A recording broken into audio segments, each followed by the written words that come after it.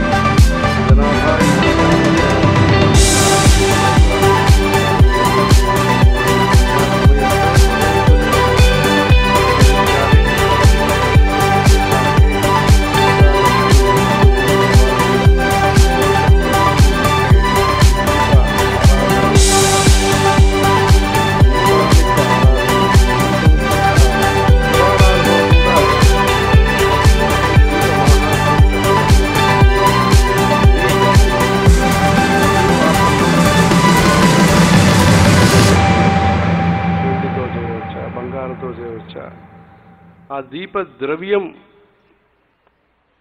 అది మూలిక తైలమా? లేదు నూనె తైలమా? లేదు నెయ్యి ఆవు నెయ్యి దీపం వెలిగించటమా? వత్తులు ఏ ద్రవ్యంతో ఉండాలి?